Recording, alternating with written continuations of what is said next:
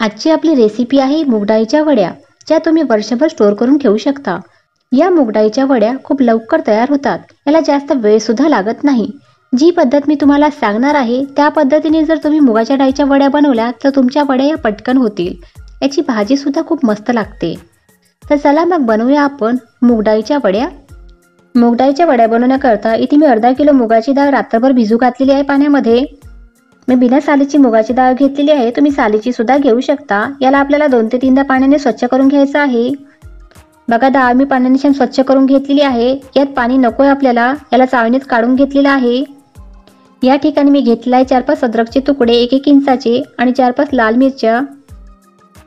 सर्वप्रथम आपण मिक्सरच्या भांड्यामध्ये डाळ टाकून घेऊया.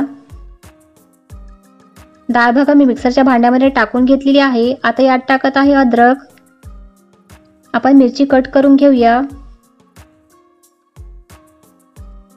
सर्व डाळ आपण वाटून घेऊया. डाळ बघा आपण वाटून घेतलेली आहे. आता आपण यात टाकत आहे जिरा आणि मेथीदाणा पावडर दहा बारा मेथीचे दाणे आणि एक चमचा जिरं. याला भाजून याची पावडर करून घेतलेली आहे. ही पावडर आपण डाळीमध्ये टाकूया. अर्धा चमचा हिंग टाकत आहे. हे छान मिक्स करून घेऊ. आपल्याला याला दोन ते तीन मिनटं छान फेटून घ्यायचं आहे. याच्यामुळेच आपल्या ज्या वड्या आहेत त्या मस्तपैकी हलक्या होतील. बघा बॅटर तयार आहे.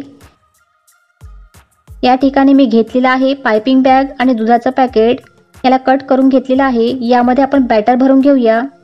पायपिंग बॅगमध्ये बघा मी बॅटर भरून घेतलेलं आहे. मुगडाळीच्या वड्या बघा किती पटापट होत आहे. या पद्धतीने मुगडाळीच्या वड्या अवघ्या दहा मिनिटात तयार होतील. बघा किती पटापट आपल्या मुगडाळीच्या वड्या तयार होत आहे.